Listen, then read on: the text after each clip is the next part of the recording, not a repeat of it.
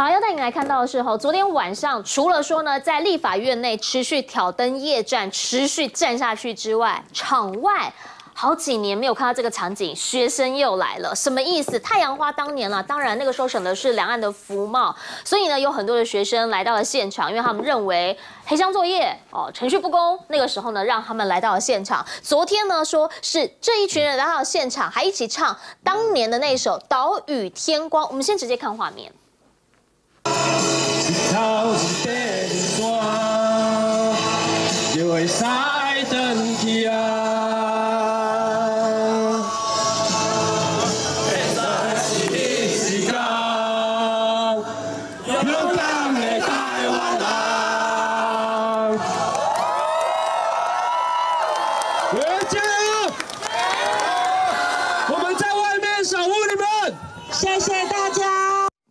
好，结果后来是谁到外面？范云啊、邱意莹啊，他们是刚刚看到在铁门外面哦，然后就用手机这样子跟大家一起来合唱。然后呢，他们就讲说谢谢 大家一起唱了这个《岛屿天光》。哎，大家就在说这看起来场景似曾相识啊，就跟当年太阳花一样啊。那大家也想问了，当大家呢看到国民党道歉这样的一个白纸，警力呢因为现场聚集的人在立法院外面，他们也担心有任何的出差错，所以呢出差丑，所以他们就来到现场来备战嘛。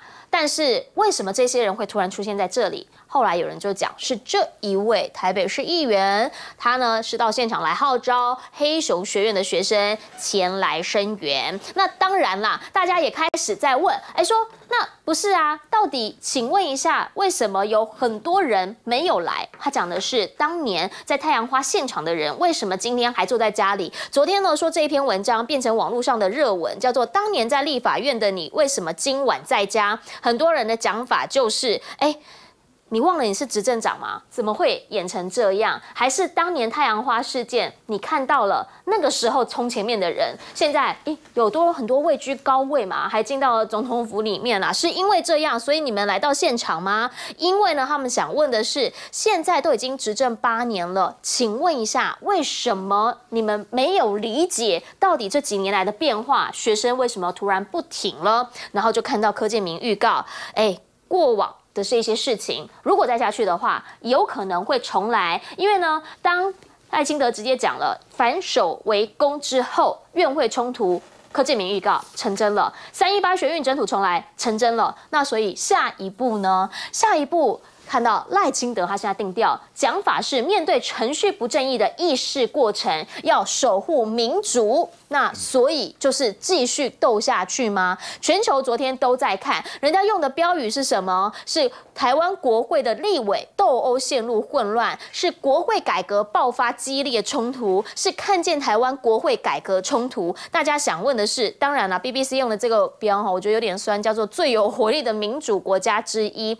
可是这一些的内文真的对台湾是好的吗？是赖清德即将要就任的新总统，你想看？看见的吗？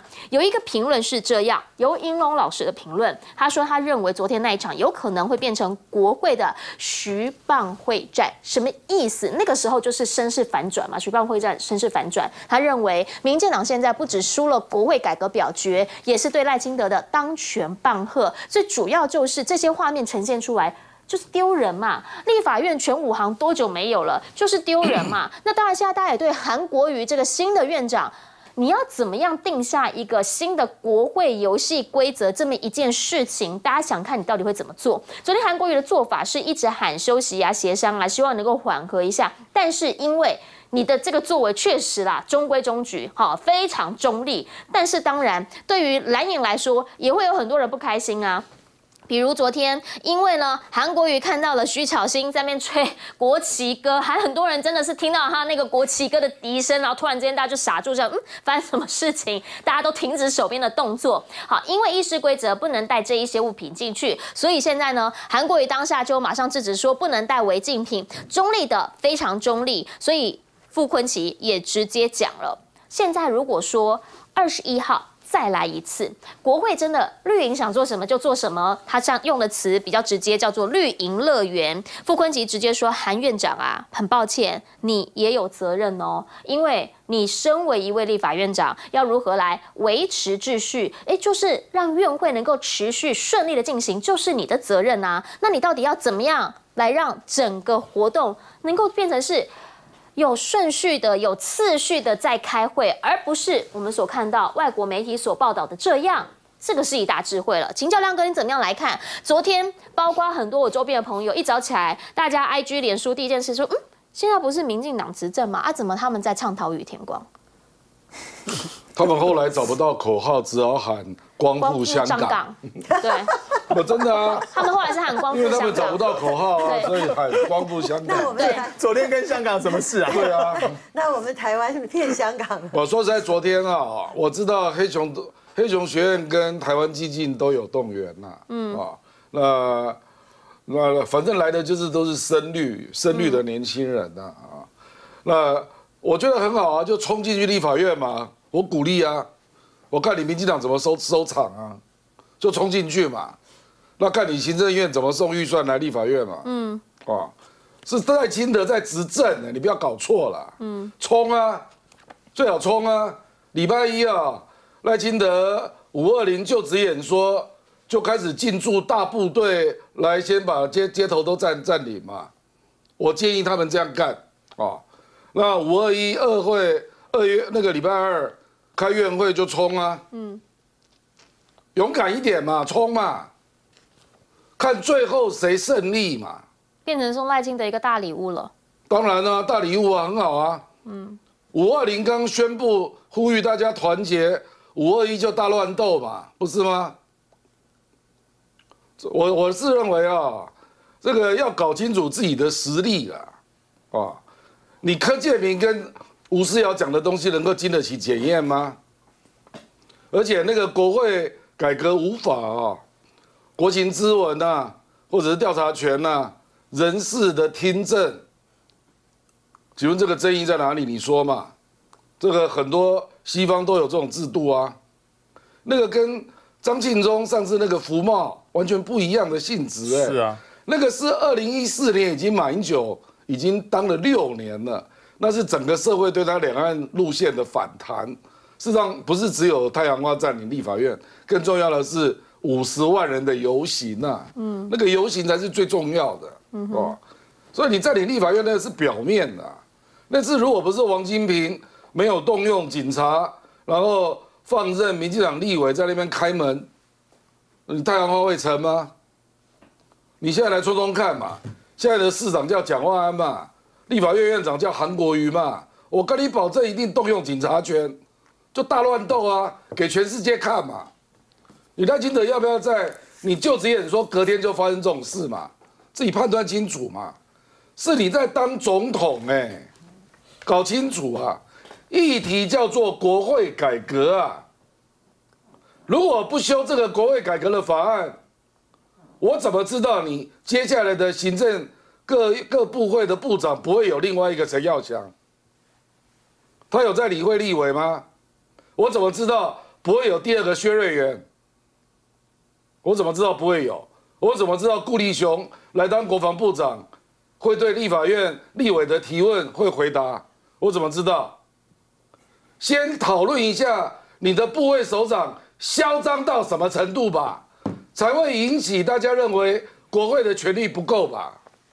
就是昨天晚上哈，当大家看到了学生出现在立法院外聚集的时候，后来才发现哦，原来是新北市议员呃绕狼来了。那但是呢，这个规模跟之前议题跟之前都是完全的不一样的。但是同样的一个模式，他们是希望能够复制嘛？原因是因为柯建明他确实之前讲啊，他有警告大家三一八选运会卷土重来啊，结果还真的昨天外面就有人。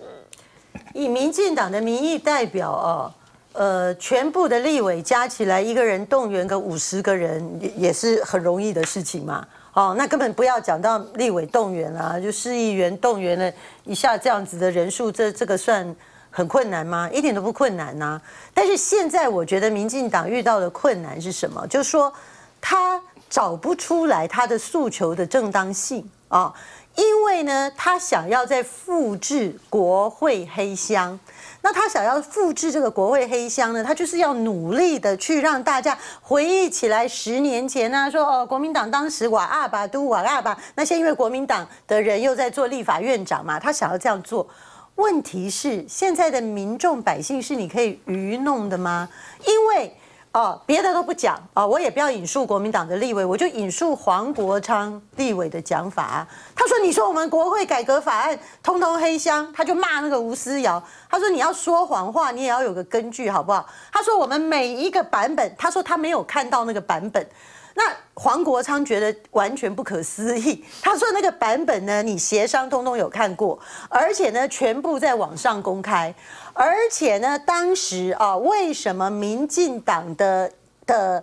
法案没有进来联合审查，是因为当时国民党跟民众党的法案呢，民进党要求说要办两场公听会，所以呢，在法制委员会呢，那两场公听会都办完了，大家也有公听，也有讨论，网网路上也有讨论，让民进党迟迟的不送案。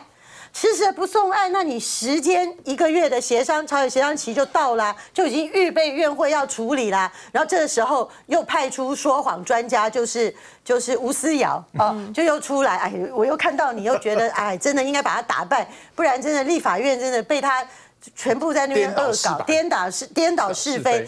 他又在那边说，哈，怎么可以？我们通通都没有看到法案，对不对？那你是怎样？你要怎样能看到法案？你原来在在协商的会场的时候，他们是有很多协商的会长哦，全部每一个干部手上都有那份资料哦。那你故意眼睛不要看，好，你故意。说你没看见，然后这样也可以，也可以骗人。然后呢，骗人了之后来了以后，大家知道诉求没有正当性的，只好讲光复香港。但 是我觉得昨天最爆笑的地方，我希望国民党中央赶快做一个梗图。原来大家弄了一一段呢，就是叫做光复香港。那请你们到香港去游行跟动员好了。好，确实啊，我觉得这个国民党可能梗图也要快一点出来。为什么？因为网络上其实你搜一下，你是找得到类似这。种国会改革蓝绿白三方的版本的对照比较，好，这一些呢，当然有些人可能会说啊，没有戏目啊，没有戏的内容啊，等等等。但是问题就是，国民党确实这方面，人家论述增强，人家行动力增强，反手围攻的时候，你马上攻击了呀。丢了，那个国民党这这一块啊动作要赶快跟上了。对啊，不然人家都说你们黑箱就没有嘛。第一个，这是国会的五个法案的改革呢，基本上没有黑箱。第二个，他没有损及任何人民的利益啦。没有人啊，当年的福茂货贸在讲说哦，可能有些做生意的啊，可能会受到一些啊，比如说大陆人会来洗头啊，类似放这种消息，让大家觉得说，那我的个人的生存、个人的呃生计可能会受到影响。可国会改革无法没有跟一不会生不会对人民的权益造成任何的损害，你加强只是国会监督行政力量。所以你看，国外的一个那个一个电视新闻的那个旁白就讲了，国民党跟民众党是为了强化对政府的监督跟制衡，是这样子啊。那所以这这五个部分，你说过去在民众民进党他也提出啊，而且很多主张是超民超民进党当年八年前是更早的时候主张啊。民进党在野的时候主张，你说对于强化这种提名人的审审查，说说不说错，当然是对的啦。NCC 委员马马上就要开始审查嘞。这些审查过程难道要像过去一样，民进党这个多数的时候，反正我提名是阿猫阿狗都可以上吗？当然不要啊！大家给国民党、给在野党、立法院多数的机会，就是能够翻转过去阿里阿扎的情况嘛，民进党说了算的情况嘛。所以民进党的立委昨天的表现，就是他过去三个半月来心里很闷，闷什么？每次表决都输啊。